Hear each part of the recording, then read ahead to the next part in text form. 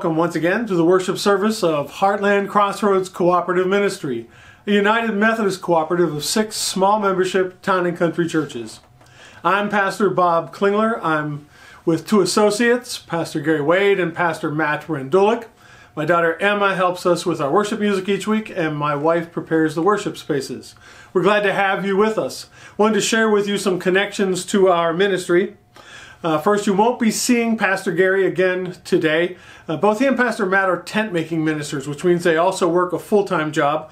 And Pastor Gary was out all night uh, plowing the roads and taking care of things. He works for the township, so he wasn't able to make our recording time today. So you won't be seeing him this week, hopefully next week, depending upon the weather. This is a, a wintertime thing. We do have a website, heartlandcrossroadsministry.org heartlandcrossroadsministry.org. You can go there and you'll find the words for the music from this morning's service and other information about our churches, including addresses and such. On Monday evenings, we offer a Bible study on Facebook Messenger. You can contact me and I send you an invitation to the Messenger room. We're studying the Sermon on the Mount with Amy Jill Levine. It's a wonderful study. We are enjoying it immensely. Uh, you can jump right in. It's uh, you know anybody is welcome. We'd be glad to have you with us. On Tuesday evening, we have musical Vespers. Pastor Matt does that on Facebook. It's also at 7 o'clock. You can tune in 7 o'clock on Facebook, Pastor Matt doing musical Vespers that are really good.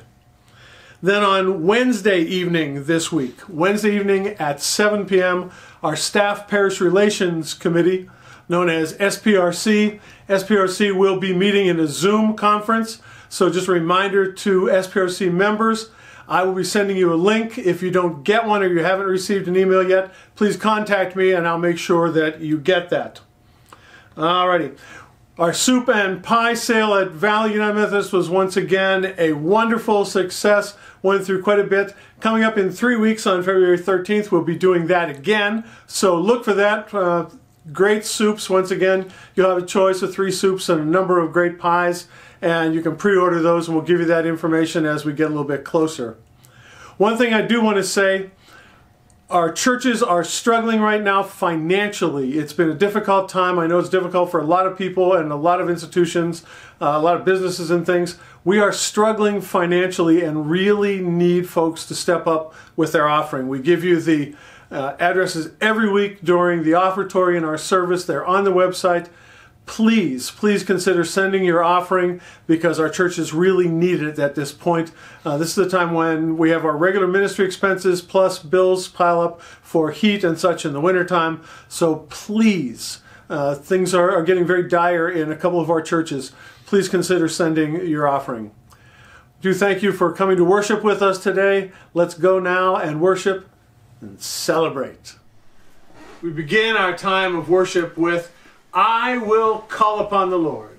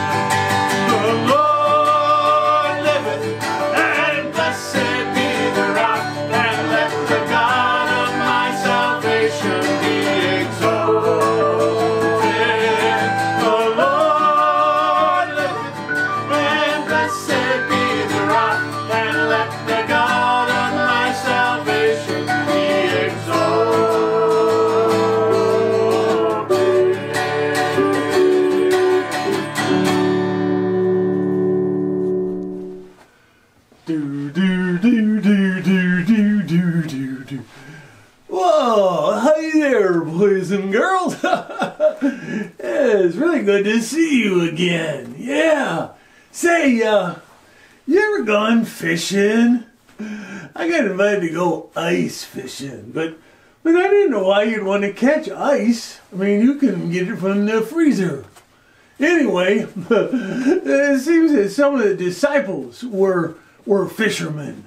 Yeah, the ones who followed Jesus, those those guys, they were fishermen. Yeah, and and they were out there fishing in the boats, and they they didn't fish with fishing poles. I guess they used nets. Doesn't seem fair to catch a lot of fish with a net, but anyway, they were out there with the nets, and and Jesus came by, and and he wanted to talk to a whole bunch of people. So he he asked them to let him go out in a boat, and he stood there in the boat, which doesn't sound real safe to me. But he stood up in a boat and he, he taught people all kind of cool stuff. And and then he looked at the disciples and he said, "I want you to follow me." And and they said yes, cause the things he taught were so cool. yeah, they were kind of amazing. Jesus teaches really neat stuff about loving each other and helping people and being a good person and all. And well, they heard that. They they were used to people being mean to each other sometimes, and, and Jesus was teaching them to treat each other nice. And even when people were mean to you, you were supposed to, to love them anyway. And lots of things like that. Boy, wow, they just they thought that was pretty cool. I think it's pretty cool too. So then he sent them out. He said, I'm going to have you go fishing for people. I don't think they use nets. No, I think they use love. When we treat people with love and we're nice to them and all, they see Jesus in us. And, and that's really good. We want people to see Jesus in, in the things we do so that they can come and, and love Jesus too. That's really cool. So, if you're to go fishing for ice, well, be careful because it's cold. But if you're to fish for people, just love them because that's nice and warm. We'll see you again. Jesus loves you too. That's good. Bye, folks. Uh, yeah, that's just, that's really good. I love it. We continue our time of worship with Open the Eyes of My Heart, Lord.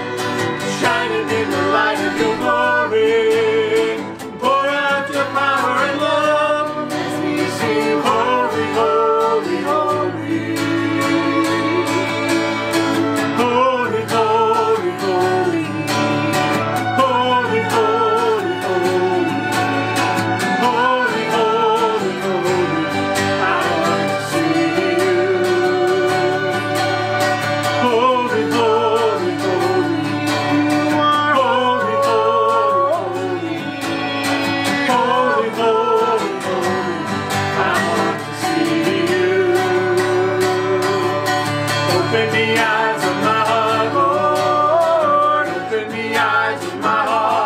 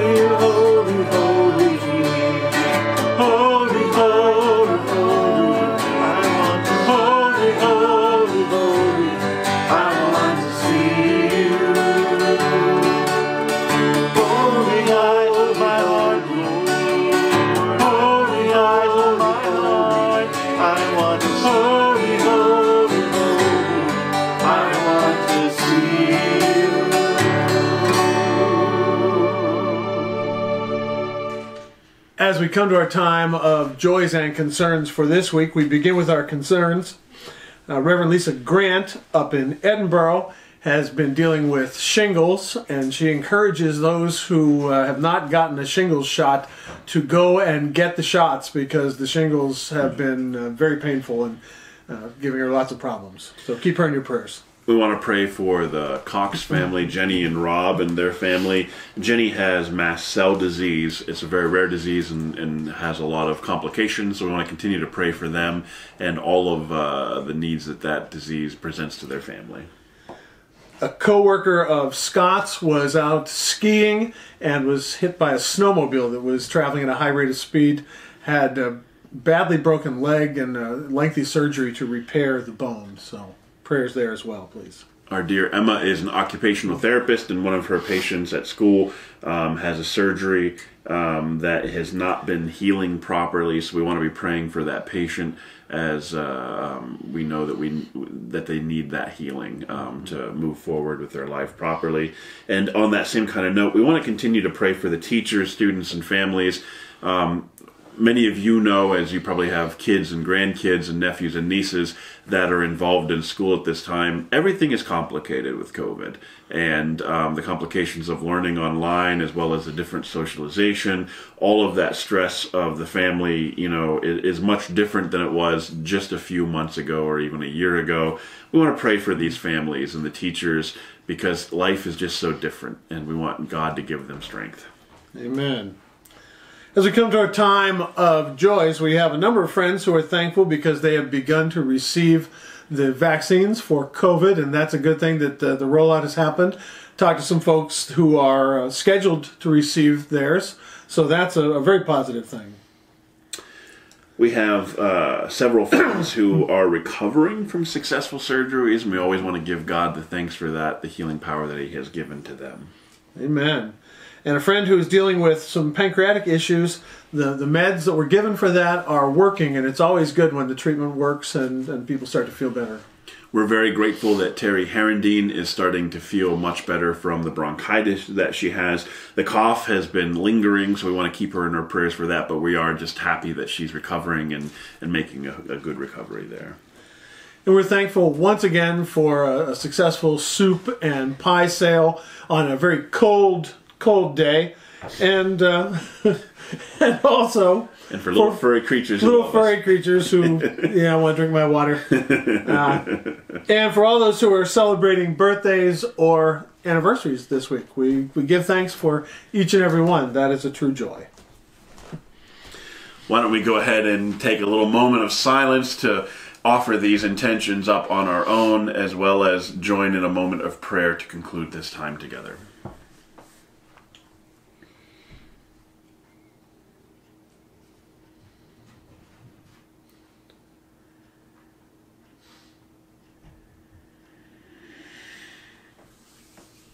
God who has authored all of existence into existence, who has created all and who has given a creative spirit to all.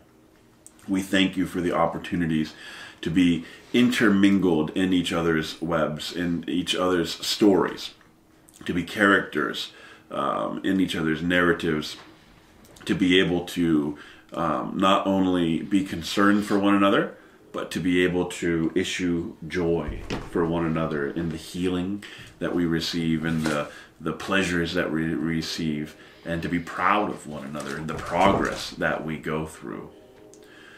We are reminded that you made yourself a personal God, a God of personal relationships through Jesus when you came to earth and humbled yourself. You took away your godlike stature and adopted the presence of a servant, um, a human, a slave, even as Philippians says.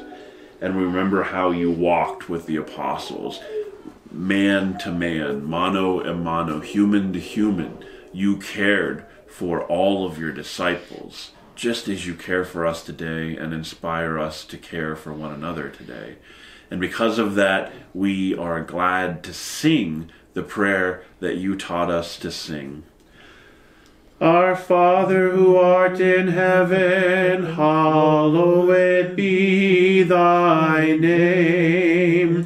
Thy kingdom come on earth, thy will be done on earth as it is in heaven.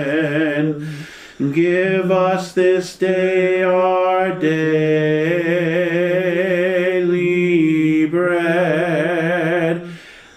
forgive us our trespasses as we forgive those who trespass against us. And lead us not into temptation, but deliver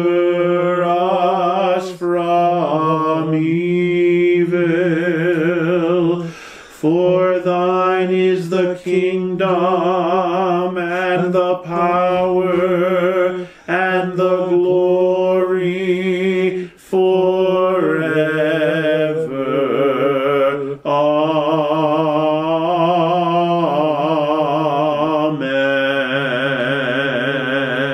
Amen. Amen. I forgot one joy. I did find out earlier today that uh, my uncle Bobby, that we had prayed for a couple weeks ago, is back home and doing very well. Excellent. So thankful There for that go. as well. Just We'll an add that update joy. there. There you go.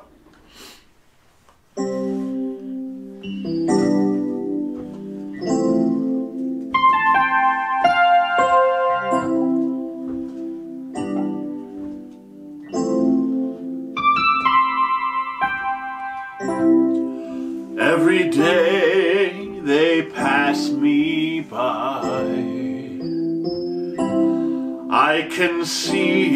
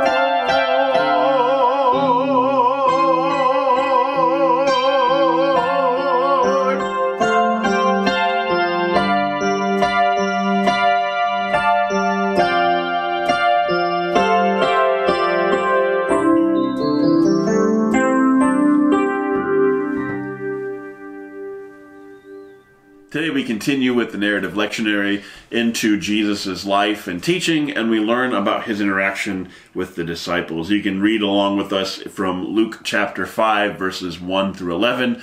Listen to the gospel of Christ because it's living and active and can inspire us to change and renew our lives even today. Luke writes, once Jesus, when he was standing on the shore of Lake Gennesaret, the crowd was pushing in on him to better hear the word of God. He noticed two boats tied up. The fishermen had just left them and were out scrubbing their nets. He climbed into the boat that was Simon's and asked him to put out a little from the shore. Sitting there, using the boat for a pulpit, he taught the crowd. When he finished teaching, he said to Simon, Push out into deep water and let your nets out for a catch. Simon said, Master, we've been fishing hard all night and haven't caught even a minnow. But if you say so, I'll let out our nets. It was no sooner said than done. A huge haul of fish, straining the nets past capacity. They waved to their partners in the other boat to come help them. They filled both boats, nearly swamping them with the catch. Simon Peter when he saw it, fell to his knees before Jesus. Master, leave. I'm a sinner and can't handle this holiness. Leave me to myself.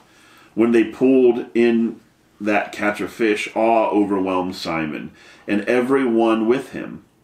It was the same with James and John, Zebedee's sons, co workers with Simon. Jesus said to Simon, There is nothing to fear. From now on, you'll be fishing for men and women. They'll, they pulled their boats up on the beach, left them nets and all, and followed Jesus. The word of the Lord for the people of the Lord. Thanks be to God. Thanks be to God. This passage is great because it shows kind of the normal people that Jesus reached out to. I think it's it's pretty amazing. I mean, even within Christianity, we know that Jesus reaches out to normal people and even sometimes subpar people. And really, when you're talking about fishermen, these are like, and I don't mean to like degrade any kind of population, but these are like the the transients. Maybe even like those old 70 movies of what you might think of like truckers being like the people that are just traveling from town to town so they don't have to worry about reputation and they may do things that are less than reputable. You know not i'm not trying to say that truckers are less than reputable or some were just day workers. Yeah you, you know, know, that those, kind of thing. you know how those people like have that reputation of being less than reputable Yes. like or they're portrayed Yes. that way in movies. Well those were the people that jesus was around. The fishermen's, you know, they were not seen as respectable citizens. You know, nobody wanted their child to grow up and be a fisherman, especially the fishermen. They wanted their children to grow up and be better, kind of like we want our children to grow up and do better than we're doing. And here Jesus is around these people. You know, they're not necessarily of ill repute, but they're not of much repute, you know? And Jesus is hanging out with them and teaching them different than other rabbis. Most rabbis look for students that show potential and that are really intelligent. Mm-hmm. We even see this sometimes in our churches. Not so much like I haven't witnessed this in our co-op, but when I was in other ministries, we would definitely like recruit harder the younger families with kids that had a little bit extra money. Mm-hmm. You know that that kind of thing like churches like oh they're a good family. They have both of them are employed and you know their kids are good. And like they they see the potential of them bringing the right kind of people in. And jesus was not interested in that obviously from the beginning. He was just like here are people. I'm here with people. Who cares what kind of people? And I think that this is an incredible testament already just in the setting to who Jesus was. And this is before Jesus goes even lower in the pot in his ministry when he starts dealing with tax collectors like Zacchaeus, Yeah. when he starts dealing with prostitutes, when he starts dealing with Roman murderers and soldiers and that kind of stuff. So it's interesting, you know, he starts here with just really regular people slash what we would consider maybe below average reputation kind of people and jesus is teaching them in all seriousness. And these people are listening and soaking up what jesus is teaching which is exciting. They are traveling you know um, to hear jesus speak on a lake or on a boat. And you know this is incredible because people today don't do that even for very famous people often we have to go to arenas and these well organized kind of places And yet, here Jesus is just speaking on a lake, and many people are gathering around. And then, likewise, Jesus kind of makes this whole ministry become apparent to Peter in a way that is visual and able to be understood for all of us. And that's basically look, you're dealing with your physical desires right now. You're trying to feed your family, you're trying to make a buck, you're trying to, you know, make some profit. But I'm going to tell you something that is more important. You're going to be looking for people, and people are going to bite, and people are going to jump into the net with the message that I'm telling you. And we should wonder why are they doing that? It's because the message is so unique and so different than anything. And maybe e- even anything that honestly our Christian churches have preached in a long, long time. And that message is that God values you more than anything in the cosmos. It doesn't matter what you have done, it doesn't matter who you've been around, it doesn't matter where you come from, it doesn't matter what you will be. God values you as you are in your weakest moment more than anything else that He has created. This message resonates with me, and it resonates throughout history, certainly. It also teaches us a couple other practical things that I want to go into as well. One of them is that um, it's overflowing when you preach this message. When we feel like our churches are failing, I think that we should evaluate ourselves and say, are we really preaching the radical gospel that Jesus gives? Because sometimes we, um, not only do we whitewash the gospel, this is something that I remember throughout this Martin Luther King Jr. week. That, um, you know, when I read these quotes, I often read people quoting Martin Luther King that probably would never invite him to his house because they would have thought he was a radical uh, communist. Um, and they don't really But he's get- dead, so he's safe. yeah. Yeah. And they, they quote like the minutest, like nicest thing that he said rather than some of the things that are like punch you in the gut kind of make you rethink your whole life kind of thing. Jesus had those quotes too and we don't say them enough in Yeah. church. You know, between you and We and ought me. to, yeah. Yeah. But on the other side of that, you know, um, there is this evaluation that we should have. If we think our churches are failing, failing, I honestly think it's because we don't love people enough. It's because we're not opening up our souls and our lives to people that we consider sinners. Because Jesus instantly did that. Um, you know, when Jesus was in um, uh, existence on earth, um, they didn't talk about people that we now call like part of the LGBTQ, um, like the queer community. They didn't talk about transgenders. They didn't talk about race because there wasn't much of a race divide. There were Romans, Jews, and then there were Africans, but they didn't really talk about them. But if Jesus were here today, um, Jesus would be talking about the people that identify as queer or transgender. Uh, he would be talking about all these different racial divides and trying to deal and trying to help those who find themselves at society's lowest, you know, divisions of those divides. Um, and his church would magnify and multiply in seconds. So when I think and I hear often from our leaders and people that genuinely are concerned that our churches are dying, sometimes I honestly want to say, well, have we tried loving people that we find disgusting? Have we tried finding drug addicts? Have we f- tried finding alcoholics? Have we tried finding gays and lesbians? Have we tried finding people who don't speak English? Um, have we tried finding all these people, the prisoners, people that Jesus, just last week we said Jesus would teach, would set the prisoners free. Free. These are guilty people convicted of their crimes. You know, have we tried to do that. And I just wonder if maybe our nets would overflow too, because those people are desperately looking to find a net to be caught in. Because the net is Jesus' love, right? God's love, God's validation, God's care. That's the net that Jesus is talking about, that Peter is calling. And the other thing that this message brings to me this evening that I think about, um, this morning that I think about, Today. uh, today, that Today. I think about, is that they had to call in help, backup. And I think about our co op, and I think about how well positioned we are. You know, if even just one of our churches would be so radical in their love, they could call in help from one of the other five churches and say, Our nets are overflowing, come help us. Come help. And then our church could be the same way, our co op could be the same way with other churches in the area saying, you know, like maybe E- you know, like the work that EUMA is doing, Yuma, or you know, In Erie. in Erie is doing, or maybe other organizations, you know, like we're doing with Ramps of Hope and stuff like that. You know, we're Yeah. already kind of doing this. Christianity takes cooperation, and we're set up so well with this co-op to do that. And I just wonder if maybe we need to constantly be thinking about the cooperation that is necessary in Christian community. Well, Ramps of Hope is a great example because started with just a couple ramps, mm. but the need is so great that there's you know well over a month of backlog that mm. they cannot get to people. There are you know dozens of ramps that are that people have requested that they just can't get to. And that's the literally- nets are overflowing. Yeah, that's literally just Peter saying, "Come, neighbors, come, Come help us pull these nets in." You know. It's interesting. Each of the gospel writers has a, a very different point of view. They're, they're stressing different things for different reasons.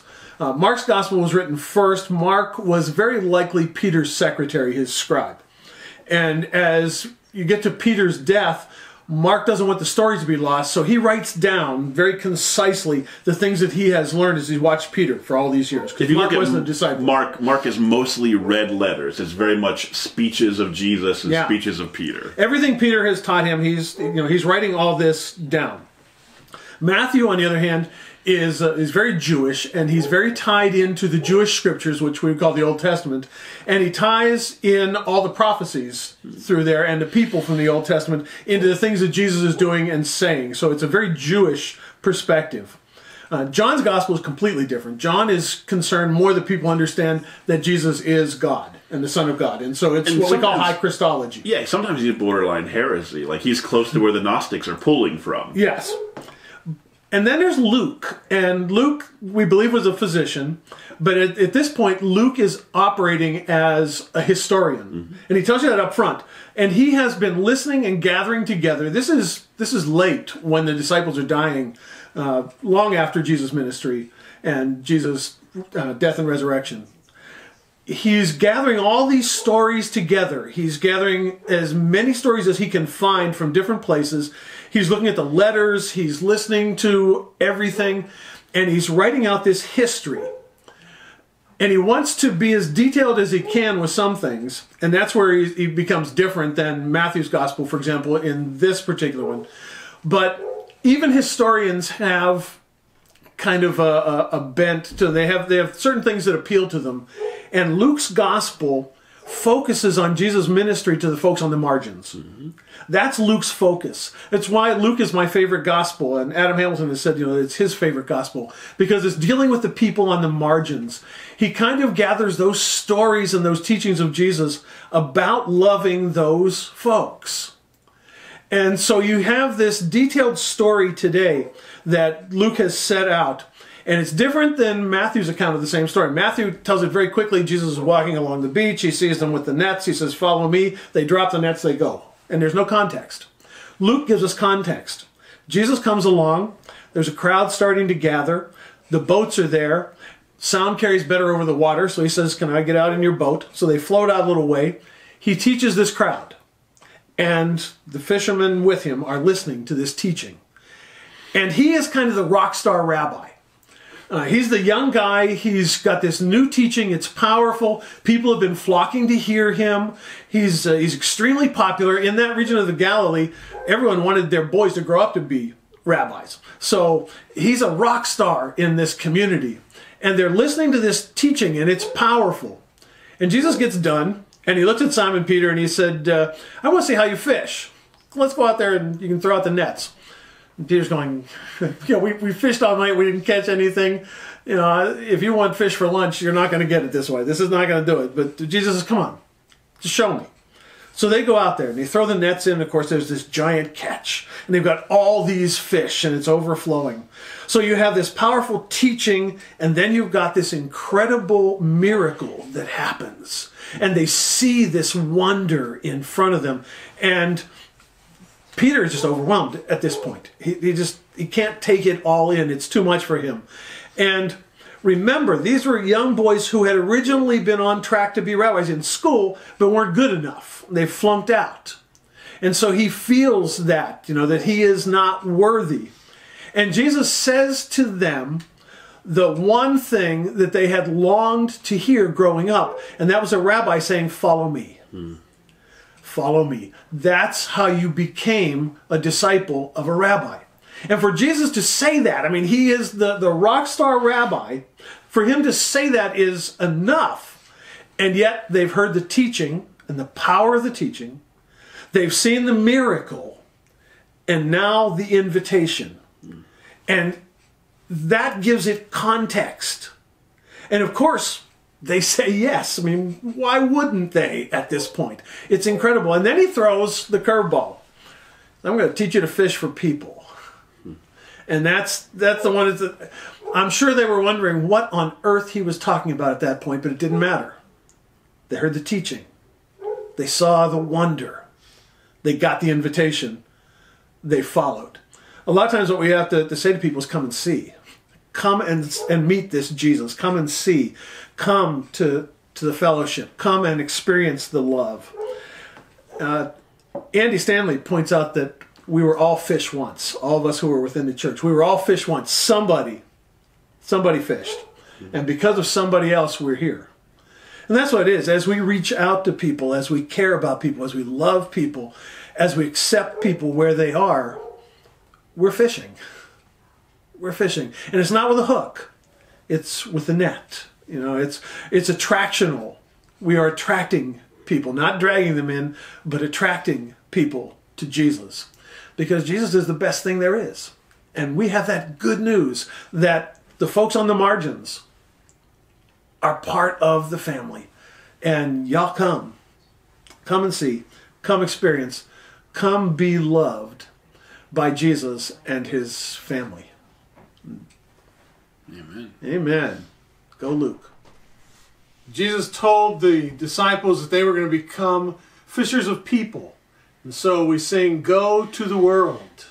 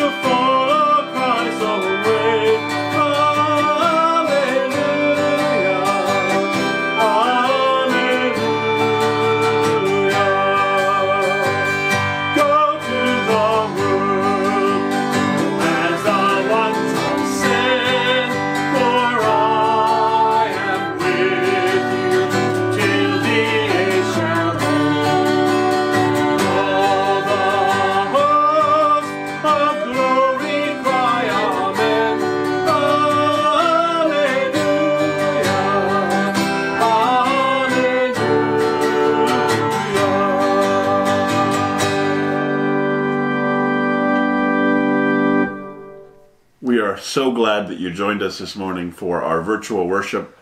Now, between you and me, we know that virtual is just a word because we still truly worship God when we are filming this together, but also when we're observing this as a church body, too. We hope that you've been blessed this morning, and we hope that as you leave your place of virtual worship, that you continue to bless others. You have such a huge influence. You may not even know it, but you influence people each moment of your waking day. So, in those moments, bless them. Make sure that you cast your nets far and wide so that more and more fish come and experience just that radical love of Jesus. Be blessed by God who has named himself love, Jesus Christ who has demonstrated that love through his sacrifice on the cross and his gift of resurrection, ending death for all, and Holy Spirit who constantly brings us to God's grace and peace. Be blessed. Amen.